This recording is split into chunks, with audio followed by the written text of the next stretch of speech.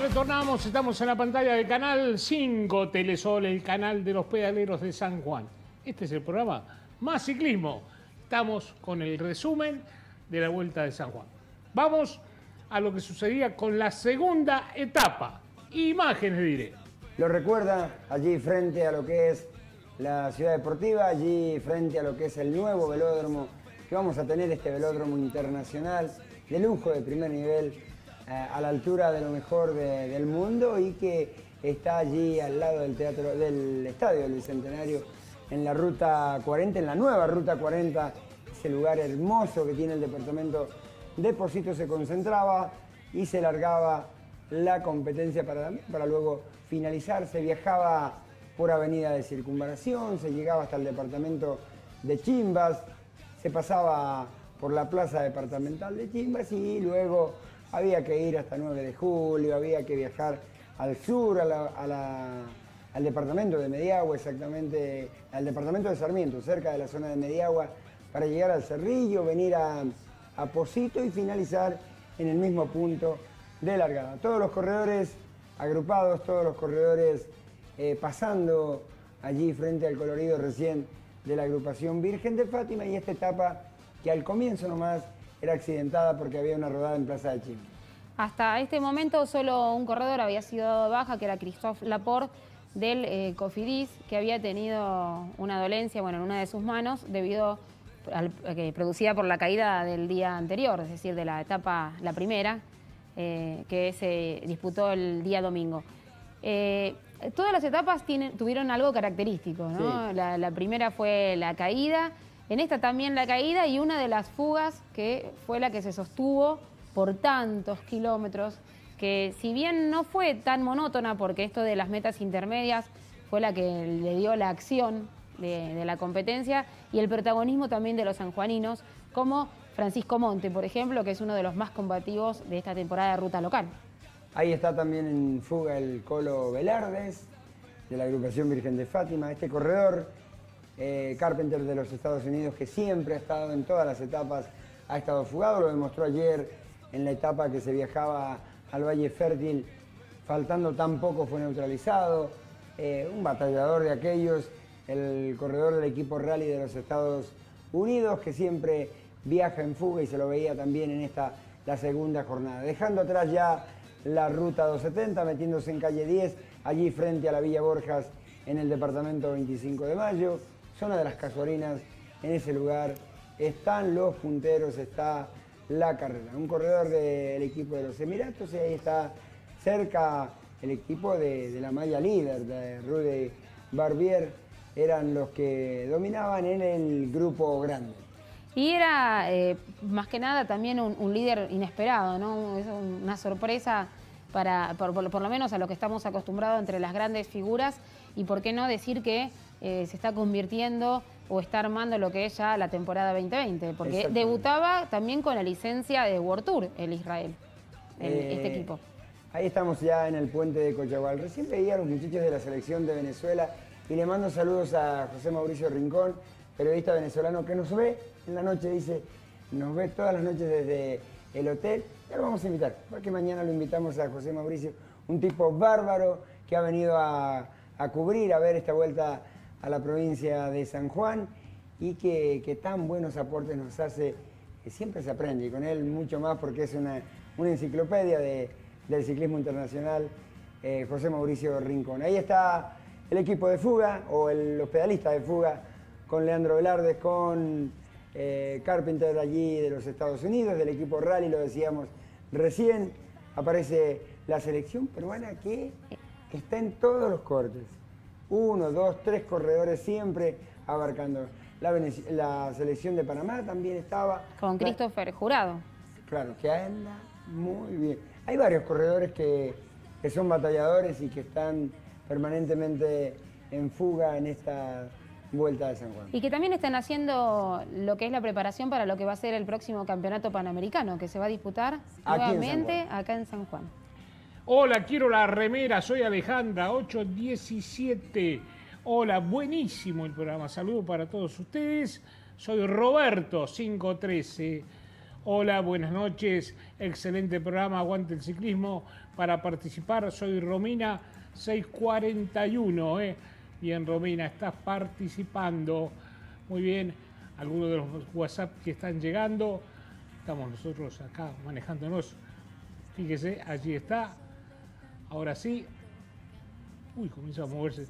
Pasa que por allí que intentamos leer y aparecen todos los todos los mensajes. Buenas noches, muy buen programa, soy Marcelo de la Bebida para participar 758. Hola, buenísimo. Ah, este ya lo leí, qué tonto. Eh, seguimos eh, allí con otro mensajito. Marisa Sosa, lo felicito por el gran trabajo. Quiero la casaca. Marisa Sosa, 151. Hola, quiero participar por la camiseta. Soy de 9 de julio. Santiago 859. Eh, ahí está algunos de los mensajitos que van llegando. Y digamos algunos, porque ayer en el corte, Mario, con Raúl, nos pusimos a revisar la computadora y había más de 300, no, 3.300 y algo de mensajes sin leer. Sin leer. Sin leer, así que paciencia para todos. Pero que sepan que todos están todos están participando. Todos quedan Pero los números son, pero apaladas. No, no da descanso. Gracias a la gente, gracias. Gracias porque nos hacen un aguante que nos motiva realmente. Qué lindo, qué lindo que, nos sigan y nos, eh, nos apoyen en cada una de las noches. Cuando les mostramos esto que nos gusta y que tanto nos apasiona, como es la segunda etapa de la vuelta a la provincia de San Juan, en calles del departamento de Posito, la fuga que ya empezaba a caer, que ya empezaba a desarmarse, el chaqueño Juárez que había logrado su objetivo, sumar puntos en el clasificador de metas sprinter, luego se entregó, vino el acople, lamentablemente tuvo una rodada, luego pero lo cierto es que allí están los hombres que sobrevivían a la fuga y que otra vez el hombre del equipo Rally vuelve a estar allí en, el corte con un hombre de la selección de Panamá. Con Christopher Jurado. Christopher Jurado, exactamente, que, que estaba, que no sé, no aceptaba que venían corriéndolo tan cerca y no aflojaba y no se entregaba para que lo neutralizaran. No, no, no quería que lo neutralizaran directamente a pesar de que viajaba tan cerca el grupo. Y la posibilidad del circuito positano, ¿no? que les dio para llegar y, mostrar también lo que es las arterias del corazón de Posito. Ahí está el final, esa llegada magnífica en la ruta nacional número 40, donde mírelo por la derecha se levanta Ricardo Daniel Escuela, el barrialino, allí para buscar una buena posición. Lo descuelga su compañero. Nicolás Naranjo no, no se había dado cuenta. Por allí escuela que se, cuando observa ya es tarde, se entrega y se viene un final electrizante. Mírelo cómo eh, el planteo, las tácticas, las técnicas de los equipos para buscar, para posicionar a su mejor corredor, al más rápido, al más explosivo. Se levanta Mauro Richiese, se viene Nicolás Naranjo, pero el triunfo le va a corresponder al más rápido de la vuelta, uno de los más rápidos del planeta que festeja el colombiano Fernando Gaviria, que lo quiebra allí a Nicolás Naranjo, el de la agrupación Virgen de Fátima, que quedaba en el segundo lugar en la segunda etapa. Y pasaba a ser líder a partir de ese momento, Fernando Gaviria. Muy bien, ha pasado el segundo bloque. Les vamos a recordar, porque están llegando muchos mensajes, quiero participar por las bicicletas, dicen especialmente. Eh, pero mire, las bicicletas y todos los premios que tenemos son cinco bicicletas 5, lo van a hacer con el cuponcito, con este cupón. ¿eh? Con este cupón, esta es alguna de las bicicletas, son 5 en total. Y además, lógicamente, la moto también. Todos con el cupón ¿Y qué otros premios, señora? Usted que tiene buena memoria. ¿Y qué otros premios también? Tenemos los andreolitos, porque ya que estamos también vestidos por andreolo, se, va, se van a sortear una vestimenta completa para hombre y otra para mujer dos pasajes a Córdoba ida y vuelta por la 20 de junio, el kit completo de Bebote Bike con casco, tubulares clincher, guantes y medias de, compresión. También está las órdenes de mil pesos cada una de eh, pistachio. Pasticho. perdón. Eh, también está la depilación eh, completa definitiva para piernas de kinesiología cura brochero, el premio de los productos eh, artesanales de la Municipalidad de Posito, el casco de Superbike, una tubelización y un service completo por una mountain bike de la bici de Javier Velardes. El polarizado de Muñoz El Caraudio. polarizado de Muñoz Caraudio. Y, Y estoy esto, viendo, mire. llegaron los reyes. Tenemos los Reyes. Dismarre, que también se suma un regalo más, es un turbo ventilador que también va a estar otro de los premios. ¿Cómo tienen que hacer para retirar los cupones? Muy simple. Hay cuatro lugares. Eh, Sáquelo, por favor. Gracias. Usted que no ha sido premiado puede sacar. Sindicato de Empleados Públicos, Salta y Central. Allí están los cupones. Están del bono taxi remis. Usted sube a un- una movilidad del bono y le puede pedir a alguno de los choferes que te entregue cuponcitos. Los llena y se los da nuevamente. La imprenta de Carlitos Jiménez en Avenida España pasando Central. ¿Estamos de acuerdo, no? Sí.